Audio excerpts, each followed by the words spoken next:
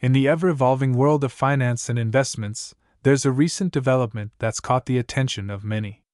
Mitsubishi UFJ Kokusai Asset Management Company Limited has made a significant move in the stock market, and it's all centered around Stellantis. Curious about what this could mean for the stock's future? Let's dive in. Mitsubishi UFJ Kokusai Asset Management Company Limited has recently increased its stake in Stellantis by 2.3% during the first quarter. This information comes directly from their most recent Form 13F filing with the Securities and Exchange Commission, SEC. By the end of this period, the institutional investor owned a whopping 228,174 shares of Stellantis, having acquired an additional 5,135 shares. The value of these holdings? A cool $4.15 million. But Mitsubishi UFJ isn't the only player showing interest. Several other hedge funds have also adjusted their stakes in Stellantis.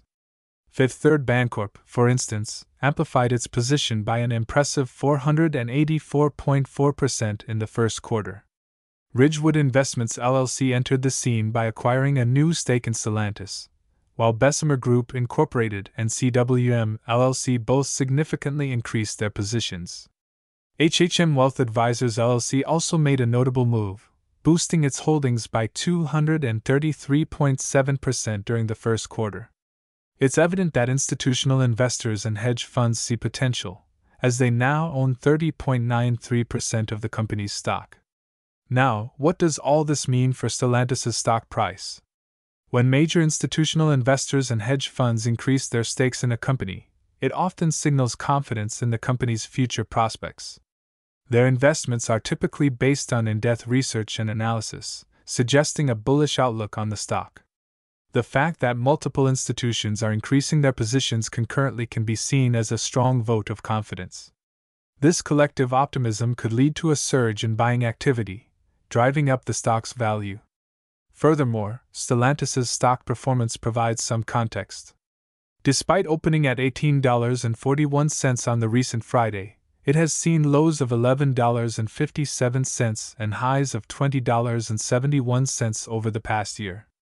The company's financial health is also noteworthy, with a quick ratio of 1.03, a current ratio of 1.29, and a debt to equity ratio of 0.26.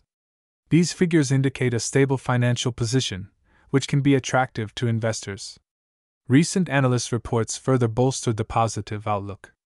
Bank of America upgraded Stellantis shares from a neutral to a buy rating. Jefferies Financial Group also raised their price target for Stellantis, while Citigroup shifted from a buy to a neutral rating.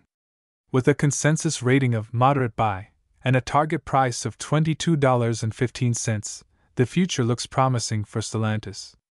Now, let's discuss the upcoming trading session's surge signals for the stock on August 16, 2023. The surge signals upwards are $18.28, $18.43, $18.55, and downwards are $18.01, $17.89, $17.74. But what do these numbers mean? Surge signals are price points that, when reached, could confirm a directional move for the stock. If the stock approaches or breaches the upward signals, it indicates a potential bullish trend, meaning the stock price might continue to rise.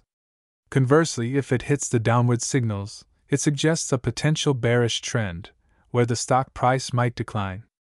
Given the recent positive news and increased institutional interest, if the stock approaches the upward surge signals, it could further confirm the bullish sentiment and potentially lead to a more significant price increase. However, if it approaches the downward signals, investors should exercise caution as it might indicate a reversal or consolidation phase. That wraps up our deep dive into Stellantis and its recent developments.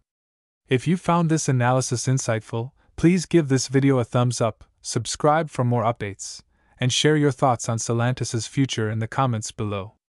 Will it continue its upward trajectory, or are there challenges ahead? We'd love to hear from you.